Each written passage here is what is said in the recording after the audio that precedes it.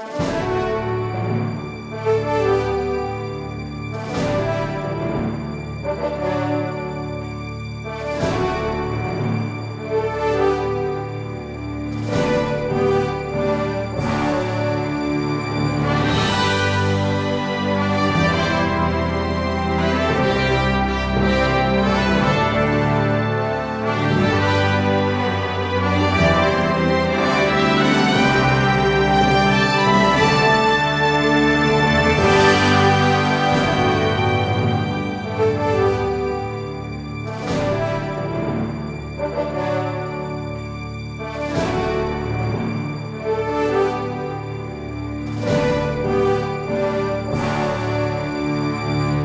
you, it's a thrill for me to be here, you know, especially in this valley. Many of you may be wondering, why do they bring someone with a Pakistani accent to talk to you? Do you need that? Let me tell you why. In the first place, you can't go anywhere because he's going to watch you. but the real reason why they bring someone with a Pakistani accent to talk to you is you don't like my Texas accent, that's why. now, it's interesting looking at your faces. Y'all supposed to be you know, diversity oriented. Y'all supposed to be, you know, everybody's the same. But all I had to do was go, I tell you, it's a thrill for me to be here, you know. And that whole row went, oh my God, you should have seen your faces. Y'all should have seen your faces like, oh, damn, all day. We're going to have them three times. Oh, damn.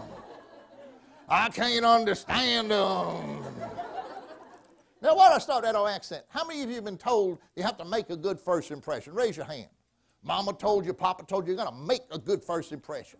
It's far more important, especially in your business with what you do, that you take a good first impression, not that you make one. You see, we're all taught how to look just right and just be. Does he look like a banker to you? Give me a break. But I'll assure you that he's taken a good first impression. If you don't take the, fir- the good first impression, you're saying no to somebody who's going to be loyal and pay up every dime that, you, that they owe you. You can't be making assumptions about somebody because of their accent, their background, or, or other kinds of things. And so then my first lesson is take a good first impression. And that's not my real accent either. As a matter of fact, this is my third phony voice. If you want to know my real accent, you have to go to the Italian neighborhood that I grew up in New York and talk to my two brothers and my brother in law who still live there and ask them about me. They'll say, forget about it, he don't know nothing. You know what I mean? my brother said, who else died and made you boss?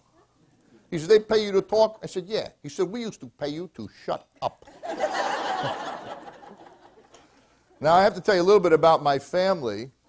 Uh, one time we slept four boys in a bed. I had five children. Uh, my mother was a maid, left school in the sixth grade to go to work in a factory, and they found out she was 12, so they kicked her out. And she went to work in a hospital as a maid, and she found that she was 13. They kicked her out. And finally, so he sees me on television. He calls me. He goes, Joey. Because you can't call three brothers and a sister. He says, Mrs. Irochi called me. Mrs. Conforti called me. He said, he said, the Valeroti talked to me.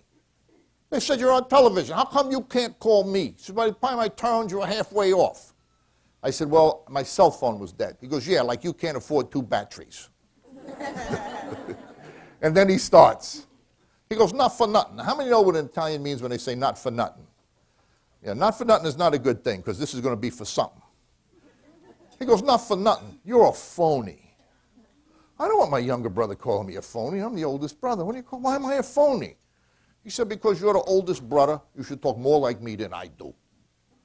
He said, How come? When you go on television, you don't talk like me. I said, Because if I talk like you, I'll make no money. I'm not stupid.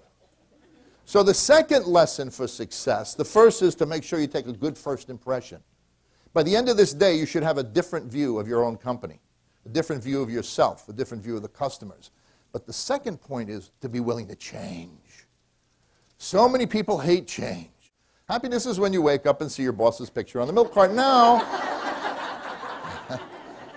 how many of you have any kind of supervisory role in this organization? Raise your hand. Raise them high.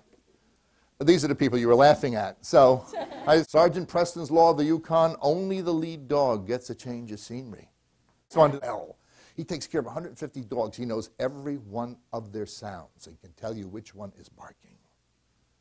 You can't tell who your customers are. You don't know their names. You don't know how many children they have. You don't know why he was good on the last loan and what he did with that money and why he needs a second loan. I thought it was interesting 150 dogs by their sound.